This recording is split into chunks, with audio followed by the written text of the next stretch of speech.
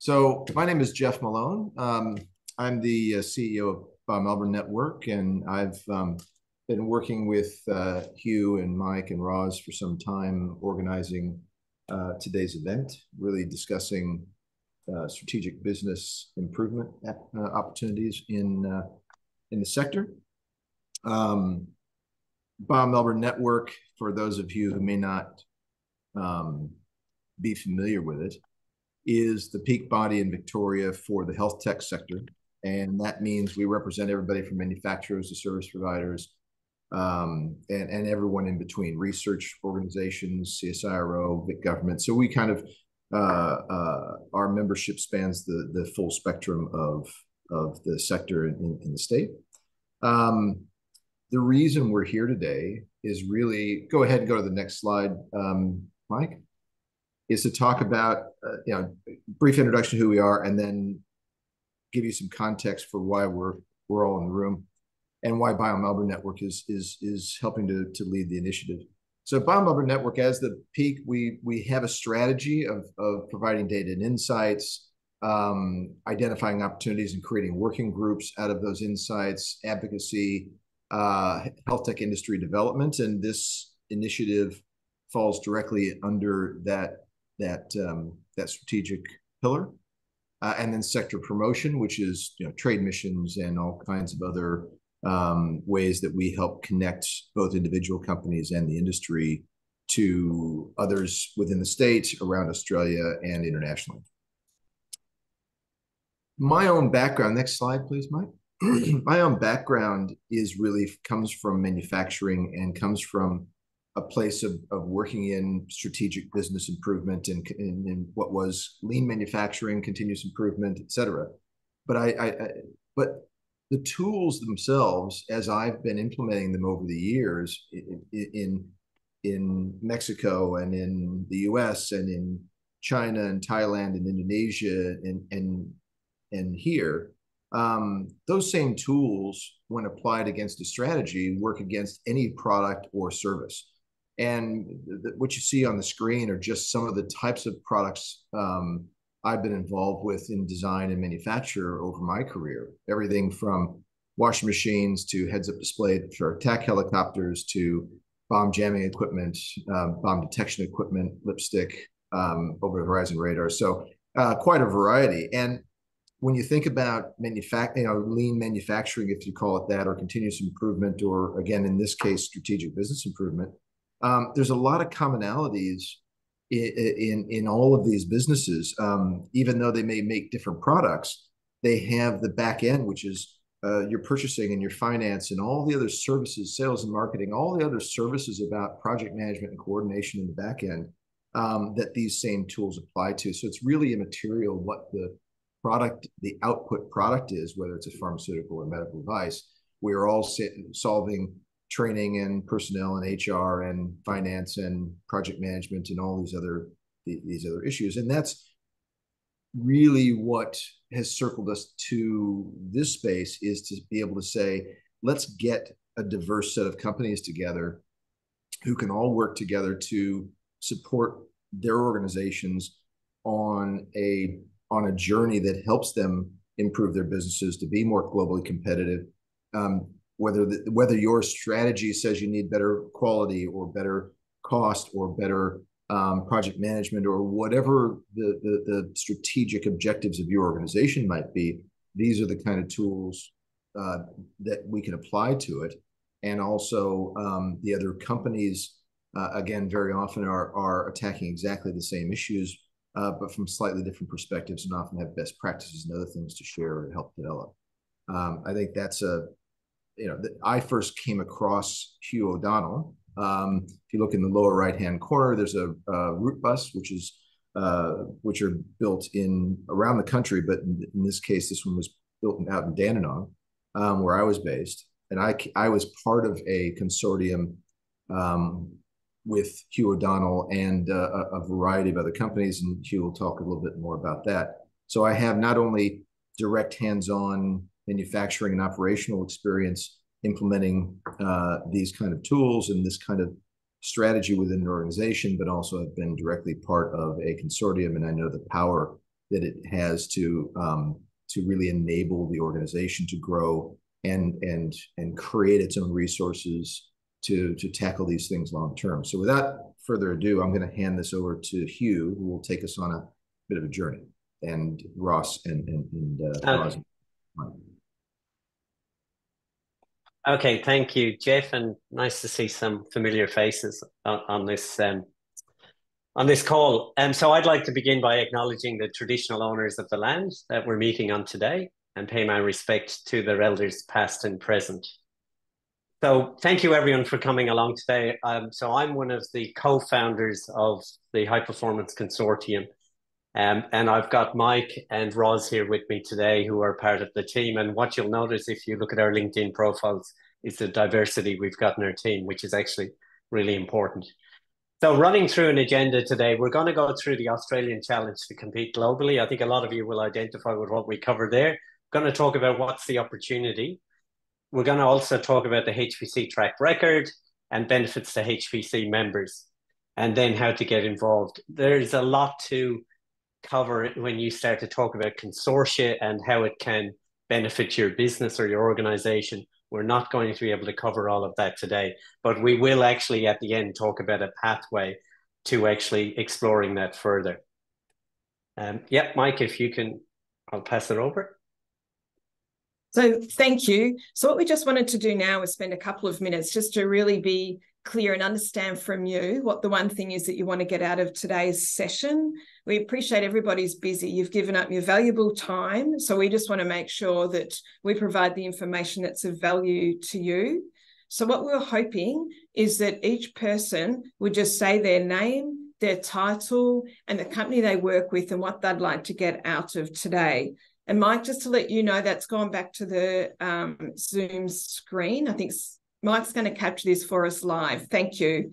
So can we please start with Sarah? Would you be okay to kick us off, please? Yeah, sure. Thanks, Roz. Um, so, Sarah Kingsmith, I'm Manager of Sector Partnerships with the Australian MedTech Manufacturing Centre. So, that's a group within the Victorian Government Innovation and Technology branch, which is really looking at how do we support our manufacturing sector to really produce more MedTech products here. And so really like to get out of today? Yeah, thanks. Yeah, just really keen to understand, I guess, where this conversation's at and maybe where we can support and um, how we can, you know, come at it from a policy angle as well. Thank you. Thanks, Sarah. Declan, to you, please. Yeah, um, afternoon, everybody. So, um, yeah, my name is Declan McGinty. I'm uh, head of operational excellence at the uh, Parkville site, which is part of uh, CSL Limited. So I'm in the CSL Seqirus uh, side of the business. Um, and yeah, I don't have a, a, large expectation for myself. I'm curious uh, of what we're going to talk about today. And um, yeah, always open to be a part of support and supporting other businesses and supporting other individuals. So, um, you know, that's, that's the mind mindset I come in with uh, something like this today. And that's a great mindset. So thank you, Declan. What we're after is curiosity. Monica, to you, please. Um, hello, everyone. I'm Monica Gretzky. I'm the uh, head of um, continuous improvement at the Behring facility in Broadmeadows, so Declan's peer. Um, similar to Declan, I'm very curious to understand um, what what we're going to talk about today and, and also how we can leverage the collective knowledge from the group um, to move forward and, and continuously improve. So so that'll be my sort of position today. Thank you. Thanks. Sanchitha? Yep. Hello. Uh, afternoon, everyone. My name is Sanchitha Fernando. I'm from Optiscan in Melbourne. Uh, I don't have too much of experience from this meeting apart from understanding what uh, networking we can have and what sort of uh, learnings we can have from uh, tapping into the resources available, uh, particularly from a strategic business uh, perspective for our company. Uh, and I didn't introduce myself. I'm the engineering manager at Optiscan. Thank you. Thanks. Rachel, please. Hi, everyone. My name is Rachel. Um, I just wanted to gain further understanding about uh, more, yeah, more curiosity about what's going to be talked about today, I think. Thank you. Thanks. And Angeline?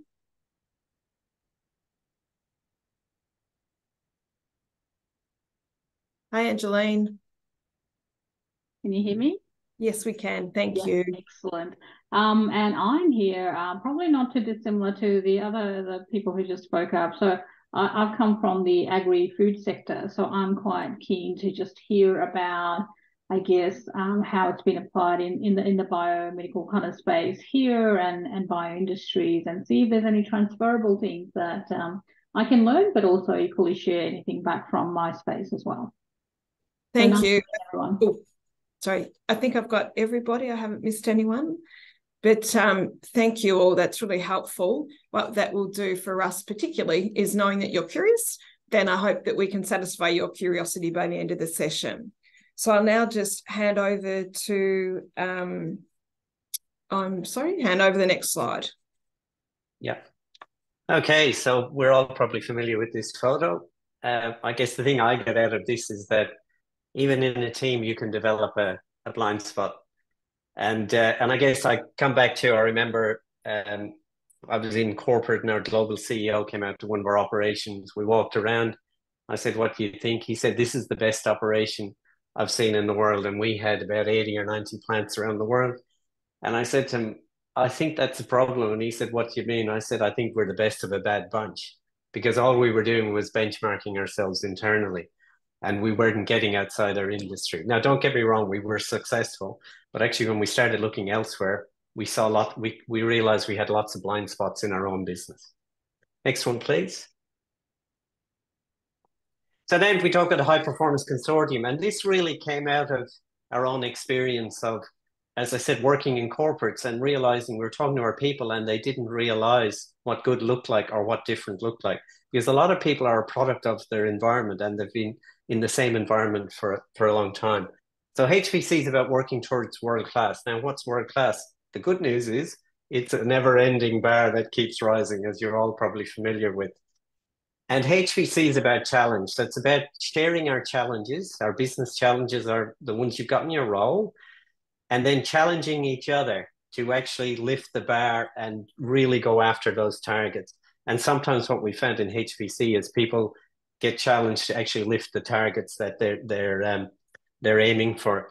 And what we do is we do that in a collaborative way, in a very practical way. And then the bit that I love is the accountability, because you know you're going to meet those similar people again, and we're going to talk about so how are things going? How do you improve? What's worked? What hasn't? And then also from the point of view of we care about you, we're now going to help you actually push through to the to the next level. Next slide, please. Over to you, Mike. Thanks very much, Hugh. Um, look, and, and, I guess um, you know, as Australian leaders, we need to deal with some with some unique challenges, really, to compete on the global market. And and like me, I mean, you know, I've, I've been in the, the corporate and consulting world for about 35 years, working in global roles all, all over the place. Um, the you know, the volatility, the complexity, the change that's taking place is really speeding up, as, as I'm sure that you've all seen. I won't go into the VUCA sort of stuff and things like that. Um, the challenge is not just about us being able to, if we're trying to compete globally, it's not just about us trying to take on board and understand that change in Australia. It's really understanding what's going on in the markets where we're trying to compete.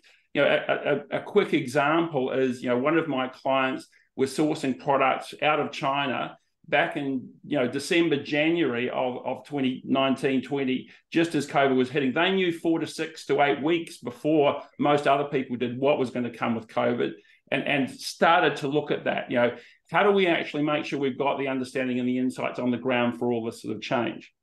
We also have another challenge in terms of our constrained resources. You know, we're competing against the US, Europe, etc., where they have large talent pools, particularly in some of the areas we want to talk about science, technology, food science, those sorts of things. And in Australia, while we have great expertise, our pool is smaller. How do we actually leverage that? How do we access that? This is now being exacerbated by the challenges financially around inflation, the increased cost of capital. How can we actually address some of those things?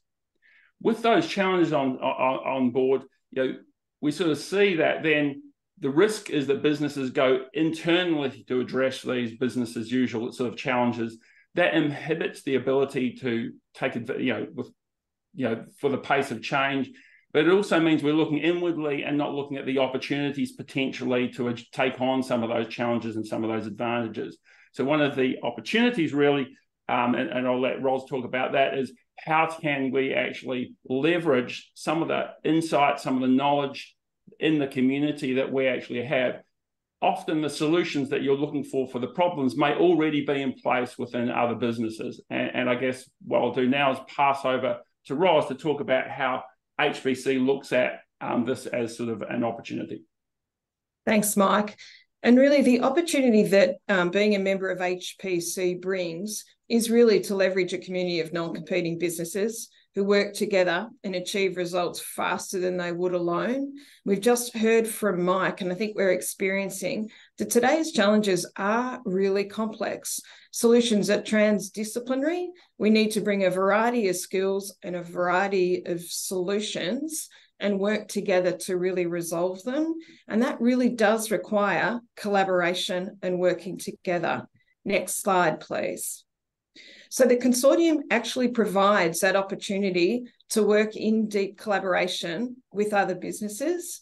And working in a consortium enables businesses to accelerate their results, whether it be business improvement to enhance operational effectiveness or commercialisation of innovation, which may also lead to potential opportunities to attract government funding through collaboration for innovation, such as working with unis or research organisations.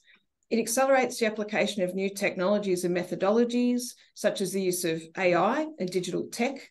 It accelerates the rate of change and development of your people through applied learning and it provides access to experienced HPC facilitators and their extensive networks. And we know from the previous HPC members, they really value the ex, um, external perspective that the HPC facilitators can bring, and also the use of the subject matter experts that we bring in as required. Next slide, please, and I'll pass to Hugh.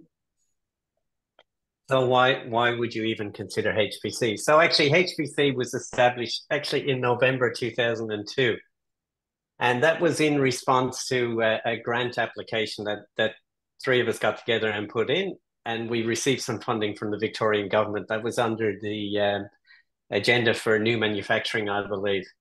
One of the interesting propositions which we put to the government was that this consortium had to be self-funding at the end of three years. Otherwise, we would have failed. And and I must say, uh, they were quite pleased to hear that and actually quite surprised. And at the end of three years, that's exactly what happened. So the members actually, based on the results that we achieved, said we want to continue. We don't need the government funding. We actually need to get on with this. And I have to say, the, the companies did actually match the government funding that was put up. So, I, I, and I must acknowledge the Victorian government at the time for their foresight to actually do this because this actually hadn't been done in Australia.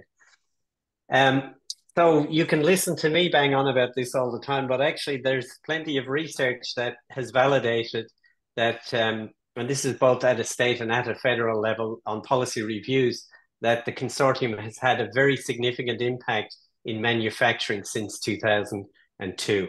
And that's not just in Victoria, by the way. Some of our members have actually built plants interstate as well, and indeed overseas.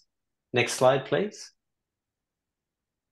So these are some of the companies who've been members. And what I'd like you to do is um, think about what strikes you about these companies and maybe put this in the chat if you would. What are some of the words that come to mind when you look at some of these logos? Now, some of these you'll know, others you won't know. What comes to mind? Yep, diversity. Yeah, very good. What else? Leaders. Yeah. Large and small organizations. Perfect. Yep. What else, when you think about diversity, what comes to mind?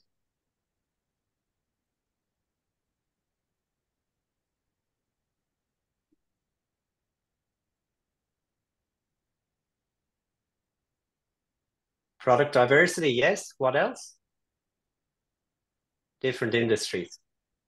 And complex supply chains, yes.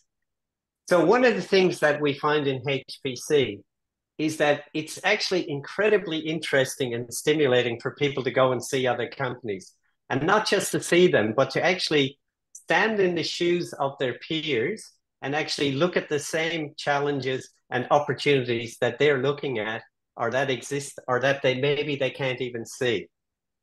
And what we also find is that it's often you'll often ask the silly question and people will think, oh my God, how, how come we've never thought about that? And we actually had an example of that in our first consortium, one of our very early visits. We went to um, to a milk processing plant, and we actually had a scientific instruments um, operations director there, and he actually said to me, "I'm not not not quite sure what I'm going to learn here today," but he had an epiphany about a major problem they had in their supply chain uh, during that visit. And in fact, I caught up with him recently, and he was still talking about that moment. You don't get those break that breakthrough thinking when you're actually with people from your own industry. You tend to slip into these conversations that have similar assumptions, and therefore potentially they can be actually blind spots. So it's really good when somebody shows up from a different industry with a different perspective and asks that difficult question. And this is one of the important things in the consortium it's actually really important that people feel comfortable and know that they can ask those questions and know also that we will work our way through those. And if we don't have the answer, we will go and find them. That's the power of the leverage learning. Uh, the epiphany was actually about using how would I use mass balance, which they use uh, in continuous process um, industries. So it's like liters of milk in and liters out in terms of, of finished product. And the epiphany they had was around they were buying a raw material from overseas. They used to order it once a year and they had major losses in the manufacturing and processing of that material. And really just using a, they were trying to um, track every single discrete item. And what they did was they just did a mass balance and realized there was a huge wastage in the system. And that got the focus of the business to actually start looking at that because there was a lot of money involved. Next slide, please. So, what are the results? And at the end of the day, this has actually got to deliver top and bottom line results. So, these are results that were achieved over a three year period by the collective consortium members. So, productivity and productivity is measured by uh, sales per employee. So, productivity went up by 23% over three years. Sales grew by 42%, and expert sales revenue grew by 126%. And we also, I think, um, created about 156 jobs in that process as well. So, one of the important things around HPC is that it's actually about working on what are the critical issues that are in your strategies, or critical opportunities or challenges, and how do we actually mobilize not just your people, but actually other experts uh, from other companies around actually addressing that. And again, if I talk about the accountability, then is we may we're going to meet those people that might be in a month or two months, and they're going to ask you, how are you going on that improvement that we all contributed contributed to? Are you making progress? Are you stuck? Do you need help? Next slide, please. Thanks. And um, I can actually say that I have really experienced the benefits of HPC firsthand. That's me in the center of the photo. It's a younger version of me. But I first met Hugh when I was working at CSIRO. It was really recommended that I go and meet with Hugh because my role was really around collaboration. And it was recommended to me that HPC was the only true collaboration where businesses were working together to achieve genuine business outcomes for the members of the consortia. Now, that photo was taken at the end of a multi week design led innovation program that we embarked on, and we embedded the CSIRO researchers into the different businesses. And it was really about getting a diversity of thinking from research to industry in both ways. And it was really around how could we bring and enhance innovation within those particular businesses. And that was the benefit to the members was around just rethinking innovation and the way that they were working, uh, including even their business models. So this is just touching on a few of the benefits uh, on this slide, but really is about providing access to resources and expertise from our ecosystem that often you won't be able to tap into as a one-on-one company. And it also provides us to scale in terms of doing it in a way that is then cheaper for each of the members. We can uh, help in embedding and enabling a high performance culture by solving real business issues. Hugh's already mentioned about accountability because the leaders hold their peers accountable for delivering improvement. And again, I saw that firsthand because at the end of each week, the leaders had to come back and report on their homework and what they had actually done in implementing the learnings from one week to the next can help with increasing the retention of your high potential people because working in the consortium provides stretch opportunity, provides learnings into other industry sectors, but also the nature of the challenges that you bring to the table provides those stretch opportunities. And the best thing about being an initial founding member is you have the benefit of shaping the consortium priorities and the program for the year. And it's really about you putting in what the challenges are that you're facing in your business. Next slide, please, Mike, and over to you. Thanks very much, Ros. And you know, we've we've covered a few of the key points and the benefits and other things like that. Obviously, as Hugh said at the start, there, there's a lot more behind this. Um, so we're going to have a Q&A session sort of shortly, but just to, to highlight where we're looking to go from here. And, and I should highlight that while we are partnering with BioMelbourne Network, we're not limiting membership to the BioMelbourne ecosystem. We are, I guess, talking initially at a broader life sciences, including food, nutritional um, and functional foods, those sort of things as part of this as well. And depending on what the founders of the um, consortium are are looking for, we may extend that beyond that uh, as well, because as we've talked a number of times about, diversity in industries opens up eyes and accelerates um, business benefits. So, where to from here? I mean, uh, firstly, uh, we, we, will follow up obviously and give you a copy of the slides and the presentation um, and the video. Uh, we will be, um, if you'd like to find out more in detail around the program, what's covered off in the program in the first year and, and other things, then email me as in Hugh um, or, or message us in chat. We will be looking to set up individual company meetings to go through that. Um, importantly, understand your objectives and your challenges to make sure the fit is there with HPC alongside assessing membership fit versus our criteria. The High Performance Consortium is not for every business. Um, there is a there, it requires commitment to be part of that because you're only as good as your weakest link within a consortium. We need everyone to be on board and contributing. From there, we will be looking to set up a free test drive, which will be a, a, a you know a, day where we actually go through and you experience some of the tools and the other things like that that we um, will be running. Uh, at the moment, that's targeted for the 14th of March. Through the interviews, we will re- reassess that. But if we get a quorum of people on that date, that's fine. Uh, if, if we really need to change it based on feedback, we will do that as well. And it will be by invitation only. Uh, and uh, if, if necessary, we may have to look at a, a, second date as well, depending on how we go through those interviews. The target is to launch this mid 2024. Um, that's uh, you know linked into the financial year. So we will be looking to get a, a final core group of consortium members prior to that to sort of kick off um, in the second half of the year. So now I just want to open up uh, the the opportunity for you to ask questions. Um, it can be as detailed as you like about any particular area. So there any questions you can either ask them um, verbally, or if you find it easier to put it in chat, uh, then we can cover it off that way as well. So the first question coming through, if you can see it, is will the consortium be consultants doing doing, or will it be building internal resources and strengths within the partner organisations? Um, Hugh, I'll hand that over to you to to answer, please.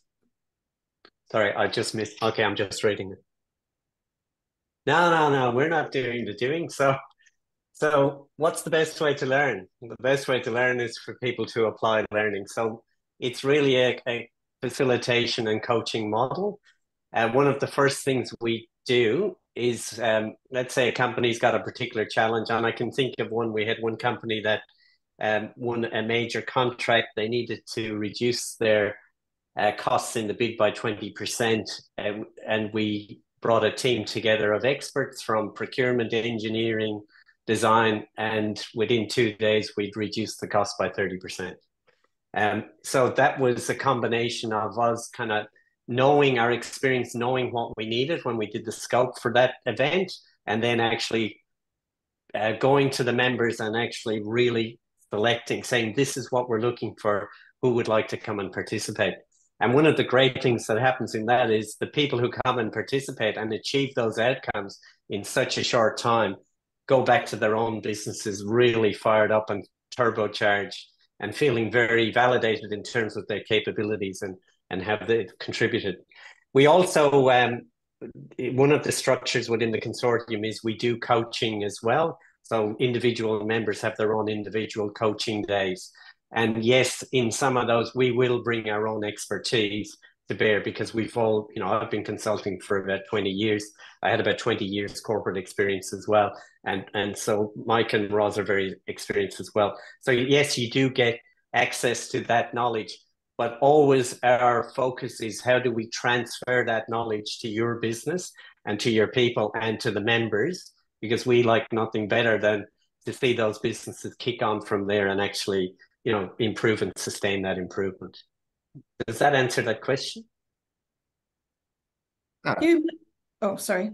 I was just going to say hugh uh, uh, just on that point that you're making um, because i was um, i was one of the i was the the primary person driving continuous improvement and and in in the business at Volgren, for example and i know that when the consortium got together it was again my part, my equivalents at these other organizations at my level, um, and that started yeah. to help me build a network of people who were doing similar things, who had similar mindsets, who were working in organizations that were looking for best practices, a place I could ask questions and do those things. But it also made sure that when Hugh and the HPC would come in, they would be talking to the senior management and saying, "Hey, what's your strategy? What are you trying to get out of it?" And that actually really helped them clarify what they wanted and and that yeah. helped allocate the resources to us so that we could get the resources um, to, to to do the projects and we could get the time and we could get the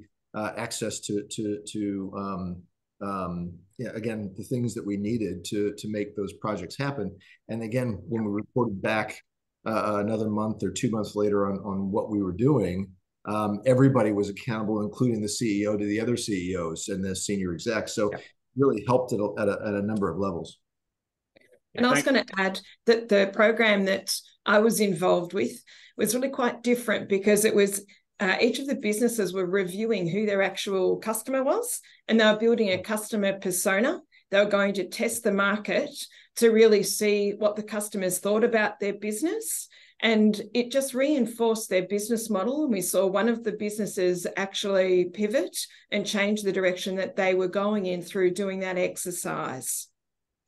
Yeah. Thanks, Roz. Um, other questions from the, the, the group, either in chat or verbally?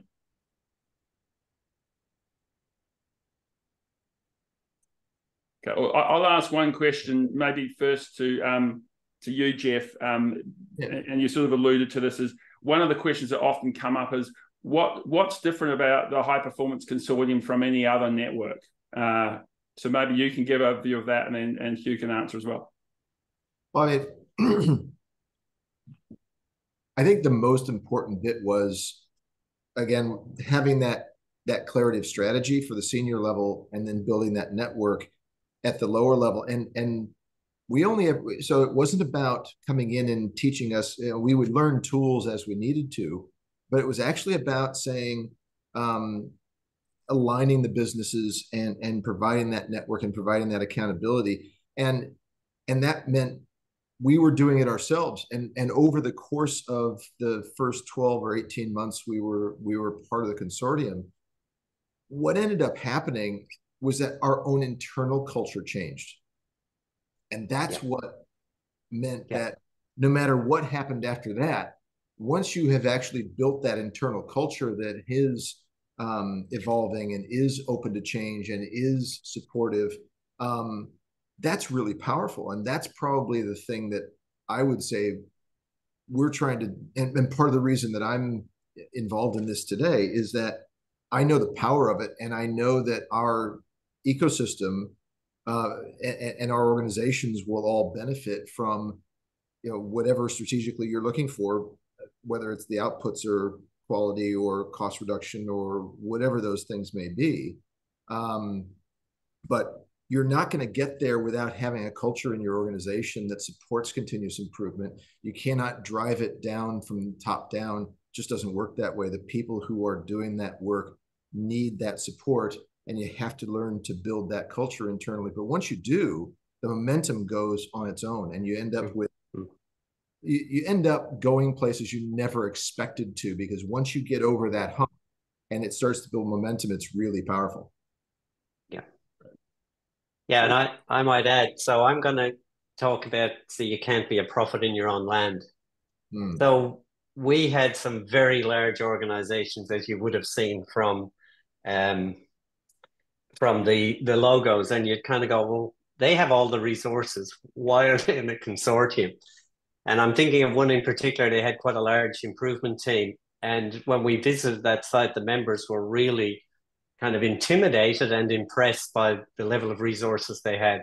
But when we started to dig in, they were really struggling to get traction internally because they were actually part of that organization. People knew them very well, but also um, it's what I call the you know the prophet. They often don't listen to the prophet.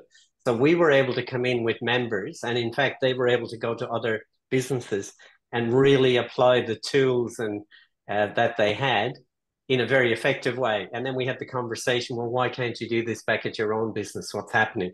And then we were able to have a conversation with the senior managers there.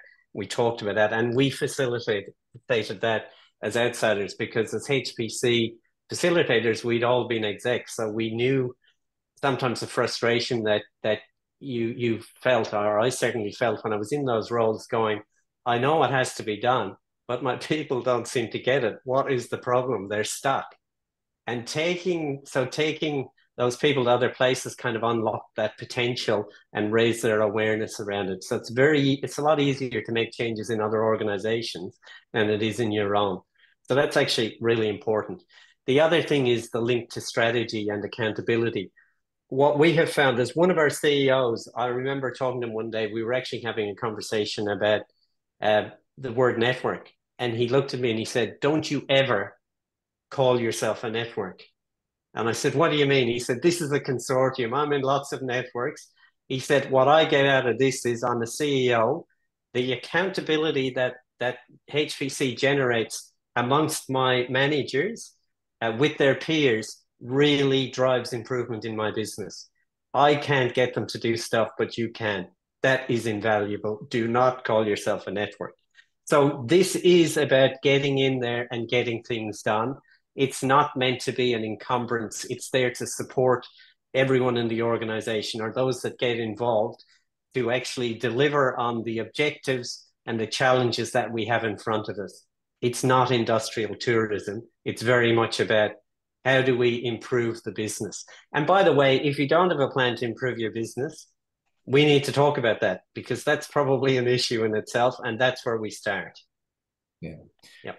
May, may I um uh, and, and a lot of times it, it, when people get into these, they think um, it, it, sounds very grandiose and it sounds very grand and it does have big results. But a, a lot of times, my own personal experience has been it, it comes out of lots of. Uh, there are sometimes these huge wins you get, the aha hmm. moments, epiphanies. Mm. But very often, it's a it's a lot of little improvements that come together to make a huge tidal wave of improvement. We we would go when I was at. Uh, I, I Jeff, I'm going to cut you off. Sorry, yeah. because I'm, I'm just conscious of time. I've got about a minute left. Um, ah, yeah, yeah. no, I was off, man. I yeah, you off. were off. I know you're passionate about it, which is really, really good. I'm just going to play my hard ass role, um, which is great. Um, I, so, so I'll tell you the story. Yeah, yeah, yeah. So look, I, am if there are, firstly, um, I think just in terms of next steps, you know, uh, hopefully we've sorry I jump in, Roz, but um, hopefully we've covered off the, the points here about your curiosity, getting better understanding. Obviously, we can only cover a certain amount within the time we have. Really, this was um, here and set up to get an introduction and then follow up, I guess, with the more important thing, which is having, I guess, more of a, a one-on-one session as I talked about before. Hugh, do you want to just um, cover this off as a yeah. final reminder and close out the meeting, please? Yeah, and look, this is really we're we're not going to come and, and do a hard sell on you. This is really about an exploratory conversation, understand what your challenges are, and can we help? You know, and that that that's really what it's about. And we can answer any questions that you've got around HPC. And just to emphasize, the consortium that we're building will be based on the needs of the members. So getting in early and working with us on that means we can really target what we're doing and and design it that way. So if you if you are interested, just drop me an email or connect with me on LinkedIn or whatever, and happy to um yeah we can arrange a time to catch up. Mm. And thank you everyone for attending.